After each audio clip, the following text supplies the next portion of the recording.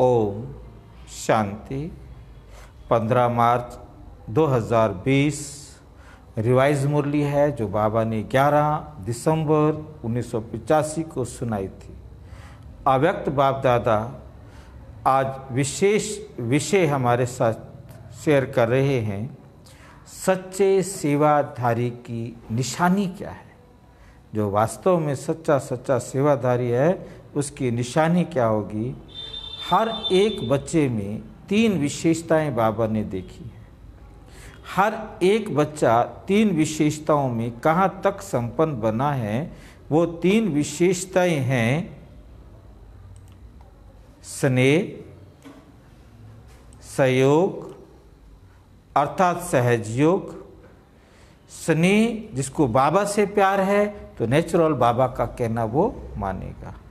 जो बाबा के यज्ञ में सहयोगी बनेगा, वो सहजयोगी भी होगा।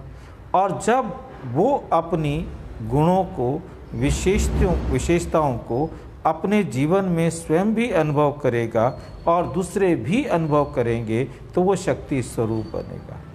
चलते फिरते वो फिर क्या दिखाई देगा? चैतन्य लाइट हाउस और माइट हाउस। अब ये हमें बनना है। ये हमारे जीवन का लक्ष्य है। हम बाबा के बच्चे बने हैं। हर एक में ये तीन विशेषताएँ हैं। कम या ज़्यादा, नंबर नंबरवार तो सब हैं ही।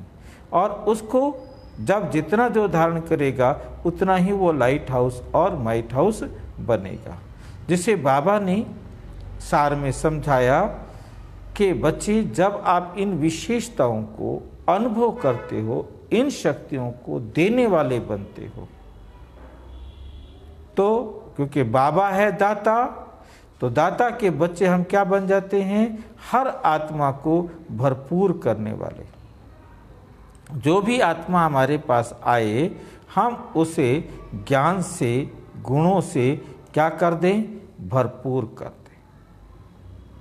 ठीक है कि नहीं? हर आत्मा को भरपूर करने वाले और हर खजाने में हर खजाने को सेवा में, जो भी उसके पास खजाना है, वो सेवा में लगा दे। तन, मन और धन। बाबा कहते ये मैंने तुम्हें दिया है अपना भाग्य बनाने के लिए, इसको आप सेवा में लगाओ। हर समय वृद्धि को पाने वाले। अपने में धारण भी करना है और हर समय हमने उसको वृद्धि में भी पाना है। सदा बाप द्वारा प्रभु देन समझे कि जो कुछ भी मेरे पास है, वो प्रभु की देन है और वो मैंने सबको देनी है। प्रभु प्रसाद देने वाले और वो मैंने सबको देना है। उसे अपने पास रखना नहीं है, वो मैंने सबको दे देना है। सदा हर एक की तरफ़ इशारा। सदा इशारा दे एक रस बनाने वाले। जो भी उनके पास आए, उनको इशारा देकर एक रस बना देने वाले। ऐसे सदा सर्व के सच्चे सेवाधारी। क्योंकि जो सबकी सेवा करने वाले, ये नहीं कि कुछ बच्चों कुछ की सेवा करे, कुछ की नहीं करे। जो सब बच्चों की सेवा करने वाले हैं, ऐसे बच्चों को बाप दादा क्या करते हैं? याद प्यार और नमस्ते देते हैं। यही आज की मुरली का सार है। अच्छा कुमारियों के प्रति बाबा ने कहा, बाप दादा की सदा नज़र कुमारियों पर है। स्वयं को क्या बनाती है? ये उनके ऊपर है। लेकिन बाप दादा सभी को विश्व का मालिक बनाने आए हैं। सदा विश्व के मालिकपन की खुशी और नशा रहे। सदा अथक सेवा में आगे बढ़ते रहो। अच्छा आज का वरदान है करणहार बाप, करावनहार की करणहार बाप है और करावनहार की स्मृति से बाबा हमें करवा रहा है। करणहार बाप करण करावनहार बाबा हम करणहार बच्चों से करा रहा है। ये स्मृति रहे तो लाइट के ताजधारी बन जाएँगे।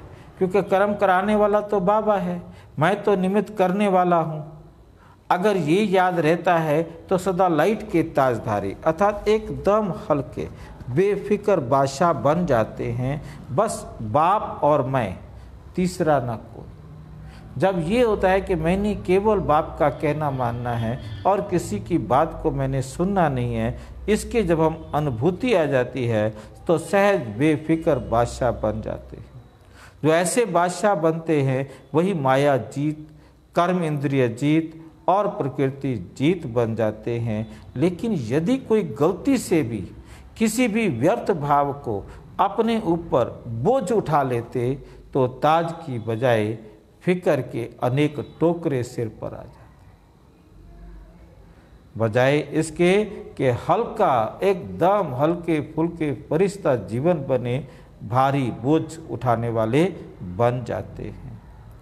आज का श्लोकन है सर्व बंधनों से मुक्त होने के लिए देहिक निदातों से नष्टो मुहा बनो ये संसार के जितने भी देह के रिश्ते हैं, इनसे नष्ट हो मोहा बनना है। सर्व बंधनों से मुक्त होना है। तो जीवन मुक्ति को प्राप्त करना है तो देह के बंधनों